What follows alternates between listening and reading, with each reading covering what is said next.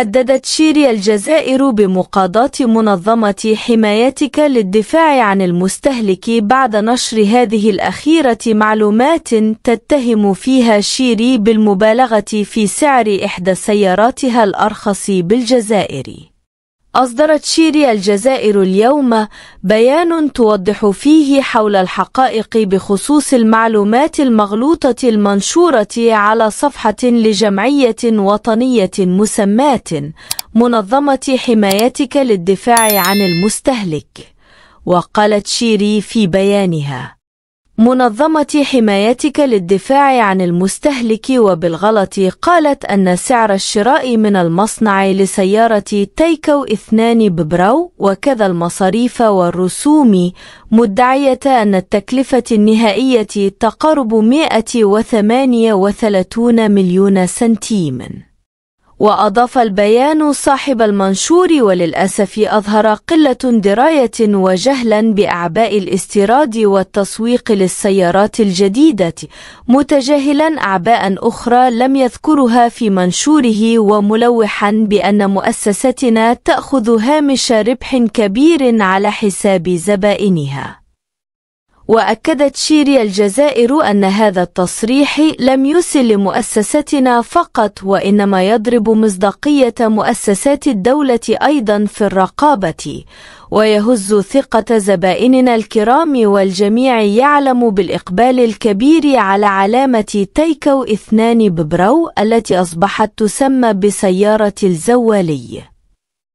وأضافت كان بإمكان هذه الجمعية التواصل مع مؤسستنا مثلما فعلت جمعيات قبلها وفي مجال نشاطها وقد ربطت معنا قنوات تواصل مباشرة لتوجيه الزبائن ومرافقتهم وحتى الدفاع عنهم بكل احترافية وموضوعية.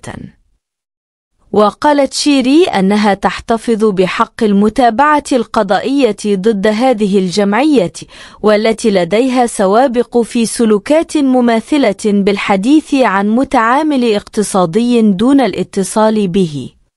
لمعرفة النوايا الحقيقية ودوافع هكذا مغالطات ضاربة عرض الحائط المجهودات التي قامت بها مؤسستنا وقطاعات وزارية مختلفة لتوفير سيارة بأقل سعر ممكن.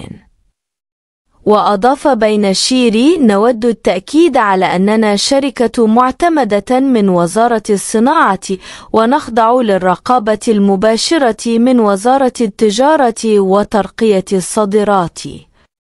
ونتعامل بجدية تامة مع سياسات الدولة لضمان توفير منتجات ذات جودة عالية بأسعار معقولة لعملائنا والمواطنين الجزائريين. ودعت شيري الجزائر السلطات المعنية إلى فتح تحقيق بخصوص هذا الموضوع لإنصافنا وردع مثل الممارسات التي نجهل الهدف من ورائها والذي يزرع الشكوك في هذا الوقت بالذات. ونحن على مشارف الانتهاء من تسليم آخر دفعات سياراتنا من كوتة 2023 كما أكدت المنظمة الجزائرية للدفاع عن المستهلك وإرشاده APOCE أنه بعد استقبالها مئات الرسائل فيما يخص المعلومات التي يتم تداولها حول سعر التكلفة لسيارة شيري تيغو 2 برو المزعوم ب 138 مليون.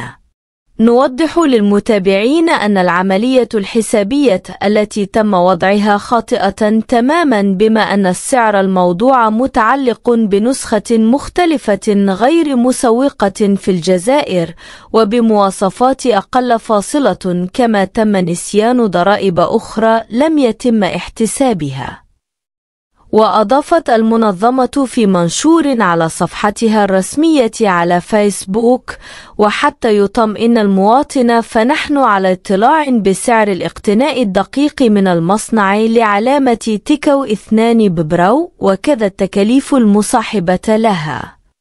ومنظمتنا في تواصل مع معظم وكلاء السيارات لأخذ المعلومة الصحيحة من المصدر لا من المواقع وربطت قنوات تواصل مكنتها والحمد لله من معالجة أكثر من 800 ملف بطريقة ودية. وفي ختام منشورها بشرة المنظمة المستهلكين أن تعدد الوكلاء التدريجي سيسمح بحول الله من خلق منافسة وبسقوط متزايد لأسعار السيارات. في الأخير أكدت شيري الجزائر أنها تجدد حرصها على الالتزام بالشفافية تجاه الدولة والزبون الجزائري